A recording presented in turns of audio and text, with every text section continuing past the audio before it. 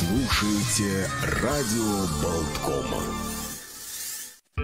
Ученые бьют тревогу. Неизвестно, как дело повернется. Может ледниковый период начаться. Если человечество не предпримет реальных действий, в ближайшие годы нашу планету ждет климатическая катастрофа. Потому что человек просто элементарно превращается в ледышку. Как ее избежать? Да ну запретите вы пластиковые пакеты, от этого воздух чище станет. Что на самом деле происходит с климатом? 20 тонн углекислого газа на душу населения. Слушайте по пятницам на Радио Болтком. Авторскую программу Константина Ранкса «Климат-контроль». Действительно, только что называется «Открыть ящик Пандоры». Всем доброе утро. Начинается программа «Климат-контроль». И с нами на прямой связи ученый, журналист, пишущий о науке, морской геолог Константин Ранкс. Константин, здравствуйте. Добрый день. Телефоны 67212 93 9, 67213 93 9, номер WhatsApp 230 6191. Э, Все как-то вот нас пугают похолоданием, хотя вот как будто бы последние два дня были очень солнечные, теплые. Сегодня даже обещают до плюс 15 градусов. Не хочется просто верить в возвращение зимы. Э, вот насколько эти прогнозы действительно имеют под собой основания? Ну, прежде всего, ничто не вечно под Луной. И антициклон, который долгое время создавал нам вот такую погоду, он э, потихонечку разрушается, давление начинает падать, и к нам прорываются с севера-запада один за другим два мощных циклона, которые как раз и принесут холодный воздух, они принесут э, осадки, причем Осадки могут быть как в виде дождя, так и в виде мокрого снега. Э, будет понижение температуры ниже нуля. И о чем нужно будет говорить, это о том, что вполне возможный гололед. Очень возможен гололед. И это означает, что те водители, которые не поторопились менять резину на летнюю, они поступили достаточно мудро. То есть, в принципе, вполне возможно, что впереди нас ждет ситуация, когда еще придется грести по снегу, а по утру у нас будут обледенелые дороги. Так что к этому нужно готовиться. Э, в общем-то, прогноз, конечно, такой довольно грустный. Вам уже как-то понравилось, что у нас в марте месяце тепло и солнечно. Это понравилось природе. Вот видно, как многие цветочки уже стали прорезаться. Я даже видел, крокусы начали – выглядывать. Но все равно, э, как говорится, природа играет свои собственные игры, и мы должны быть э, готовы. Тем более, что приход циклона может сопровождаться сильным ветром. Не ураганом, но сильным ветром. А с учетом того, что будет сухо, вполне возможно явление, напоминающее пыльную бурю. Ну и, конечно, не как в Африке, но пылить будет здорово. Еще, кстати, вариант такой, если у вас в машине вы на зиму убрали э, фильтр салонный, то самое время сегодня его поставить назад. Потому что иначе система обдува у вас будет засасывать эту пылищу в салон. А оно вам это надо? Надолго ли вернутся холода? Какие прогнозы? Ой, там два циклона один за другой идет. И по этой причине, в общем-то, Э, есть основания полагать, что это будет, э, ну, во всяком случае, в следующую пятницу тоже будет, э, в общем-то, такая не очень хорошая погода. И вполне возможно, что на две недели прогноз точно будет такой вот ветрено, дождливо, снежно и с провалами по температуре. Тут видите еще какой момент. Дело все в том, что с другой стороны как раз мы наблюдаем действие э, Азорского антициклона, который как бы подпирает с юга вот, зоной высокого давления, и циклоны как раз катятся к нам. Так что вот у нас будет такая достаточно приятная погода. Но надо сказать, что то, что у немцев, например, хорошая погода, их все меньше и меньше и меньше радует. Почему? Потому что уже вырастает засуха. Помните, мы говорили, Олег, несколько раз, еще месяц назад говорили, даже, по-моему, раньше, о том, что засуха вполне такая солидная есть в Португалии, в Испании, на юге Франции. А вот сейчас уже речь идет о том, что это вообще во Франции и юг Германии. И эта засуха, она препятствует началу посевных кампаний. Вообще это очень плохо. А с учетом того, что сейчас у нас как бы повсеместный назревает дефицит многих продуктов, и мы угу. тоже об этом говорили, в частности, в связи с тем, что полностью сорвана посевная кампания э, в Украине, непонятно, как будут вестись торговли с пшеницей с, с Россией, там вообще все не, стало непонятно. А это огромные поставки, которые шли на рынок Европейского Союза. Конечно, что-то перехватят другие страны. Например, вот Индия в деловой прессе пишет, что вот в этом году мы можем продать 10 миллионов тонн отличной пшеницы потому что крупные, ну, они больше всего смотрят на Ближний Восток, потому что крупные игроки исчезают с рынка. Самое время Индии занять их место. Но, э, с другой стороны, те же индийские скептики говорят о том, что, ну ладно, этот урожай у нас удачный будет, а что будет дальше, может быть, у нас у самих будет засуха. Вот. Поэтому Всемирная продовольственная организация смотрит на ситуацию чрезвычайно мрачно. Что же делать? И вот это вот, да, и вот засуха в Европе, она тут совсем не к месту. Сейчас были бы в Европе очень полезны дожди. И именно поэтому, например, то, что дожди пройдут у нас, в принципе, это хорошо. То есть, может быть, для обычного, ну, скажем, для обывателя дождик – это повод поворчать, что нужно взять с собой зонтик, а с другой стороны, для сельского хозяйства это очень полезная штука.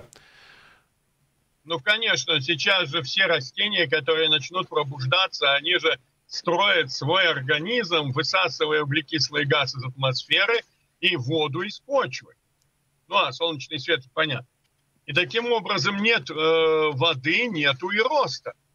С чего бы им расти? Поэтому, а нету роста в это время, значит, его нормального не будет и позже. Угу. Поэтому сейчас как раз вот осадки, причем даже вот эти небольшие минуса, они не так страшны. Вот. Это как бы естественное явление. Вспомните, в конце марта, начале апреля обычно всегда выпадал снежок. Вот это как бы к этому надо относиться совершенно спокойно. И для природы это совершенно нормальное явление в наших широтах. Но я, кстати, Поэтому помню, вот Facebook, Facebook да? подсказывает, Facebook обычно всегда э, дает возможность посмотреть на фотографии, которые ты постил там сколько-то лет назад. Я очень хорошо помню, что в середине марта э, на, фотогра... на всех фотографиях там буквально вот лежит слой еще снега, так что э, то, что у нас в этом году так рано снег сошел, это, в принципе, скорее исключение, наверное, из правил, чем... Ну да, но, в принципе, вот то, что сейчас он сойти сошел, а сейчас у нас будет э, влага, все-таки какая-никакая должна поступить, это будет хорошо. Плохо, если будет пасмурная погода, будет ветер сильный, да, низкие температуры, а дождей не будет и снега. Вот это плохо. Вот. Но есть надежда, что осадки все-таки будут, и таким образом земля надлежащим образом увлажнится. Ну, а сейчас я говорю, хочу сказать, что в этом году вопросом самообеспечения э, продуктами питания, в том числе в Европе, она становится очень важной, очень серьезной. О ней постоянно говорят. Другое дело, что об этом мало говорят э, журналисты, потому что тема такая, как говорится, народ-то в основном действительно в, в городах живет, да? Вот. Но... А, тем не менее, это очень серьезно. Но я вот сразу вспоминаю, как раз-таки, скорее это ассоциируется с советскими временами, когда э, люди старались обеспечить себя, зная, что будет дефицит, там, ну, может, может возникать дефицит продуктов периодически. Советский человек был готов к, так, к таким испытаниям, и всегда вот эти подсобные какие-то приусадебные хозяйства, огородики, они очень сильно выручали, хотя вот с приходом, ну, уже там в 90-е, в нулевые годы, как будто бы это смотрелось архаично. И молодые люди уже подсме... подсмеивались над пожилыми родителями, которые что-то начинали весной обязательно выращивать рассаду. Сначала на подоконнике рассаду, потом с этой рассадой отправлялись э, на приусадебный участок, ее сажали. И э, говорю, господи, да, дошел до магазина, что там эти, как возиться, столько нужно возиться, дошел до магазина, все купил, что тебе надо надо, все в магазине есть. Вот пытались переубедить родителей. Но это уже те, э, эти, э, так скажем, переубеждальщики, они уже тоже совершенно не в европейском тренде. Это тот самый тренд, знаете, когда вот э, дети дефицита, да, вот появилась возможность все купить в магазине, вот что там что-то делать, вот все в магазине есть. Но вот сейчас современное молодое поколение, европейское берем, да, оно же э, как раз к этому относится с большим вниманием, потому что это, это, как сказать, экологический тренд, с одной стороны. С другой стороны, многие говорят о том, что люди должны ездить к еде, а не еда к людям. То есть смысл здесь главный в том, что вы покупаете то, что выращено э, локально, на месте. То есть как раз то, что привез вам крестьянин, это хорошо. Но еще идеальный вариант. А почему бы не разбить огороды, например, на крыше вашего дома или, например, где-то поблизости, иметь свой какой-то участок, экспериментировать с выращиванием различных, допустим, душистые травы. Они вообще дорогие, если так пересчитать, да? А если сам вырастил, то получается совсем другая цена. Или, например, какие-то интересные корнеплоды попробовать, кусты ягоды. То есть это как раз становится сейчас в таком в тренде. Об этом говорят уже лет 7-8, если не 10. Но мне кажется, что сейчас как раз, вот сейчас стали говорить об этом не только в плане того, что это экологично, что это э, модно иметь такое все, все свое, да, вот. А это уже вопрос именно иметь конкретные продукты питания, которыми ты будешь питаться. То есть вот как раз интересно, много ли у нас сейчас в Латвии людей, допустим, живущих в Риге и при этом имеющих свой огородик. Раньше это было вполне нормально. Вот, например, там, где сейчас район Сканстес, да, uh-huh. там же были огромные городские огороды, площадь была, их были сотни, и люди, которые жили, например, на той же нынешней Брейбас тогда Ленина, они шли пешочком в эти огороды, там у них было две или, по-моему, по две сотки они или по три сотки, и они там стояло обычно две яблони, какой-то крыжовник, клубничка, и все, и они выращивали, в том числе там свою морковку, сезонно. Вот большие были люди, которые добивались очень хороших успехов. Но, ну, но затем, сказать, да, но затем все, все, все эти огороды убрали городские власти, и, в принципе, вот это было расчищено под строительство.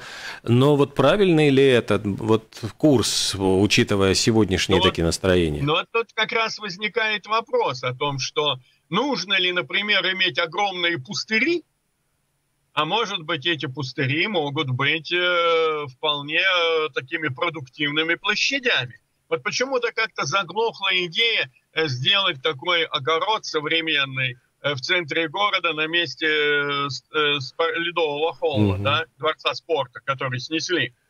Идея эта была, конечно, весьма интересная, тем более современные технологии позволяют делать многоуровневые грядки, например. Конечно, там нет смысла выращивать картошку. А вот, например, современные технологии выращивания клубники могли бы быть даже очень востребованы, чтобы местные жители отказывали, отказались бы ходить и собирать там свою клубничку. Mm. Разумеется, тут еще можно сказать, что э, выхлопы двигателей, автомобилей и прочее, но э, общая тенденция европейская идет в сокращении количества автомобилей в черте города – а если будет, а именно автомобилей, которые используют э, сгораемое топливо. Таким образом, э, в принципе, воздух становится чище. Вот мы забываем, например, что 30 лет назад машины у нас ходили, используя такое вещество, как тетраэтилсвинец. И поэтому говорили, ничего нельзя собирать на обочинах дорог, потому что эти плоды, грибы, там всевозможные, они насыщены свинцом. Угу. Тетраэтил свинца у нас в бензине нет уже пару десятилетий точно. То есть, собственно, это не, не означает, что нужно собирать э, то, что растет по обочине. Да? Но, с другой стороны, это говорит, что происходит тенденция очищения среды. Вот. Хотя, разумеется, огородик, например, за пределами города, да, вот, за чертой э, плотной застройки, он вполне бы мог иметь место. И я думаю, что вот от, в этой теме будут говорить, потому что, например, в тех же самых западноевропейских странах об этом говорят, что э, для многих людей это может быть средством и отдыха, а с другой стороны, это как раз один из способов, э, так скажем, получения а, и уменьшения количества необходимых потребляемых и импортируемых ресурсов, часто импортируемых. Вот так построена схема, и я хочу сказать, что есть же разные варианты. Например, я слышал в Финляндии об идее такого кооператива, когда люди, э, вступая в такой своеобразный, ну, допустим, вот пожилые люди, так, старше 50 лет, уже тяжело ковыряться, особенно если ты к этому не привык э, с детства. А ты хочешь получить э, картошечку хорошую, да, по хорошей цене.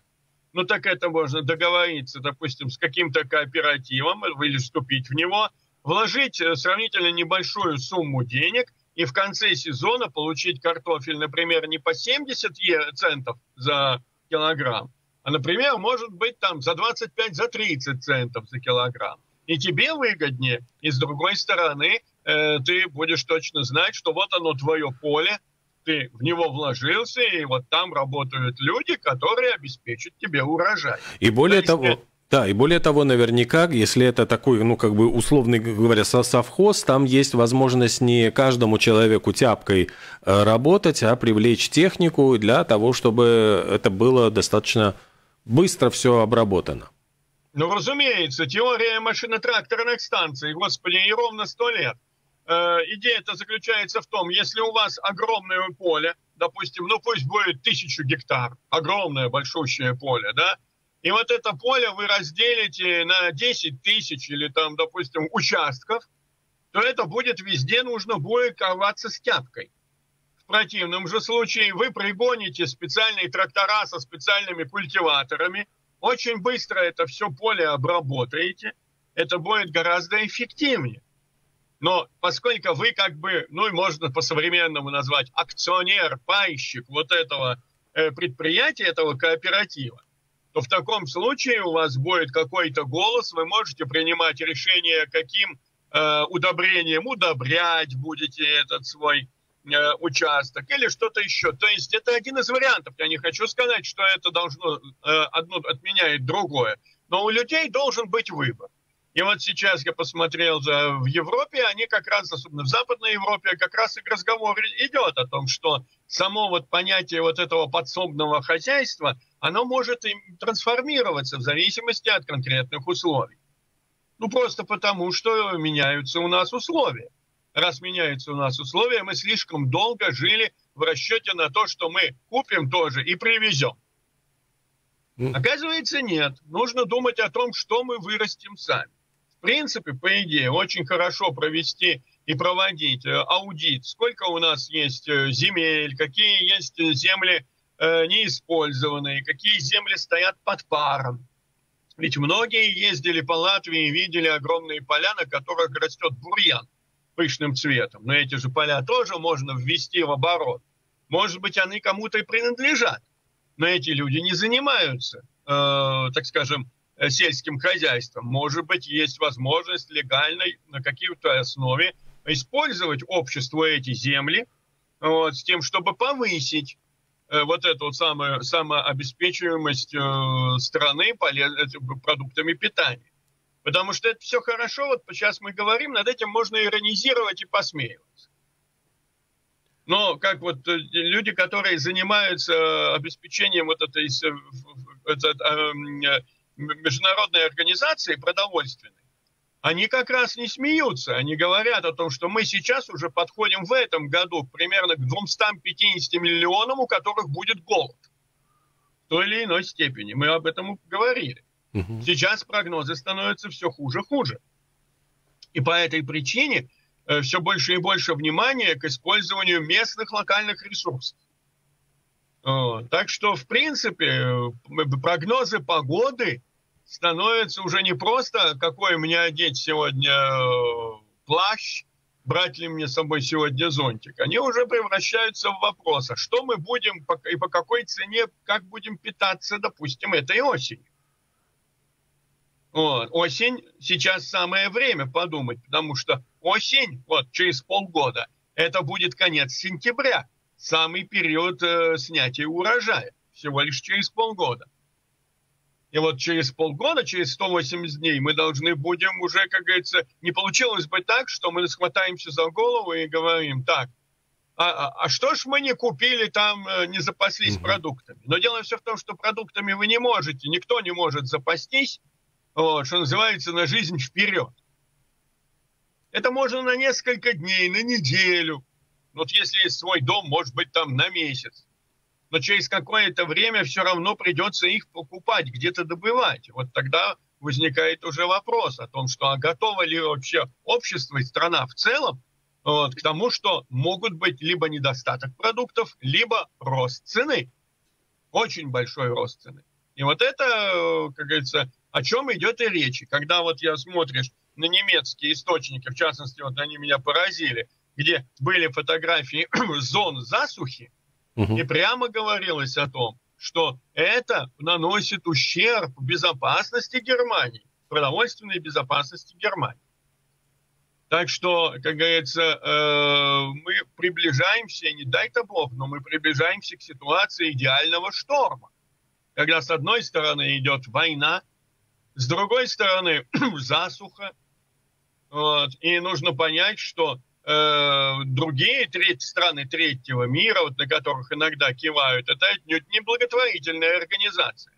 Они за свой рис, свою чечевицу, сорг, гаолян, они попросят денег, потребуют денег, и денег, э, так скажем, конвертируемых валют.